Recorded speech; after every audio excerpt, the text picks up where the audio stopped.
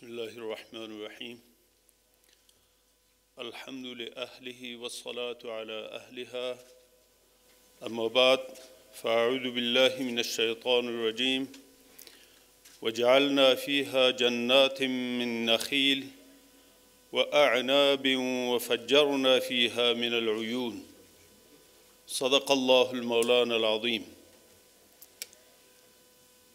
حضار محترم جناب معاون صاحب اقتصادی ریاست الوزراء اعضای کابینه مهمانان عزیز مسئولین رسانه ها و همه حاضرین در تالار السلام علیکم و رحمت الله و برکاته. نخست جا دارد که به مناسبت تدویر این محفل پرشکوه به مناسبت 29 نمایشگاه خزانی محصولات زراعتی از برادر بزرگوار وزیر صاحب زراعت مولای صاحب عطاالله عمری و همه هیئت رهبری وزارت محترم زراعت تشکری نمایم. برادران نهایت عزیز برای شما واضح است که افغانستان یک کشور زراعتی و مالداری بوده. رول زراعت چقدر در افغانستان مهم است؟ زراعت یک بخش راهبردی و کلیدی برای ملت افغانستان است. بر اساس معلومات 80 درصد نیروی کار کشور در بخش زراعت مصروف می باشند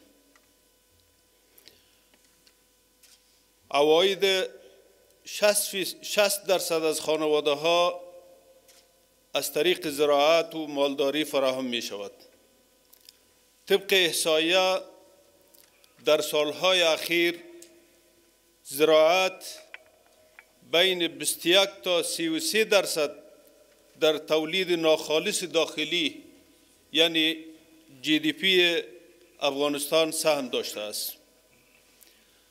در صورت مدیریت و توجه درست این بخش می تواند در یک دهه یک اشاریه دو میلیون شغل را در کشور عزیز ما ایجاد نماید.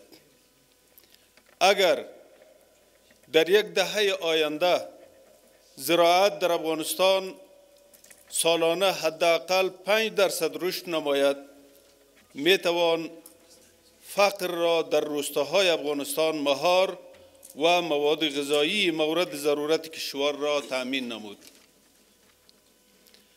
طبق مطالعات انجام شده آب و هوای افغانستان برای توسعه زراعت و کشت گونه های متفاوت زراعتی بسیار مساعد است. به گونه مثال زعفران افغانستان میوه های تازه و خشک افغانستان که بهترین کیفیت را دارند که با پروسس بسته‌بندی و علامتگذاری معیاری می توانند با تولیدات مشابه از کشورهای منطقه و فرامنطقه به خوبی رقابت نمایند. امارت اسلامی افغانستان به میکانیزه سازی زراعت آوردن تکنولوژی های جدید در این بخش ساختن سردخانه ها ترویج تولیدات داخلی ایجاد تسهیلات برای دهاقین و ایجاد تسهیلات برای سرمایه‌گذاران داخلی و خارجی در این بخش متعهد می باشد الله امارت اسلامی افغانستان تمام سعی و و امکانات دست داشته خود را به خرج می که از این بخش ما بتوانیم زراعت خود را به صورت سالم مدیریت نماییم و همچنان آبهای خود را به صورت سالم مدیریت کنیم تا بتوانیم محصولات داخلی خود را برای استقلال غذایی و مسئولیت غذایی ملت شریف افغانستان تقویت ببخشیم.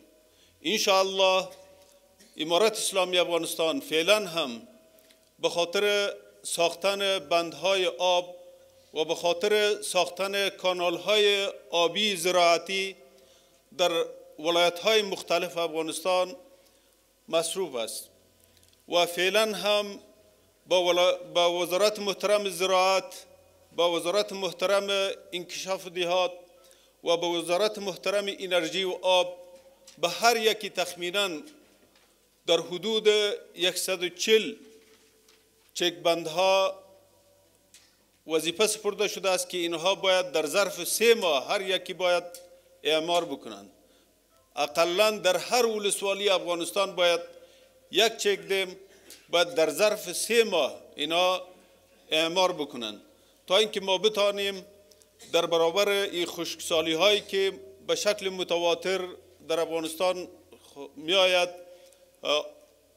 با تقلیل بخشیدن برای کم آبی مفید و مسمر واقع شود. زیادتر وقت شما را نمی‌گیرم. از توجهتان تشکر. السلام علیکم و رحمت الله و برکاته.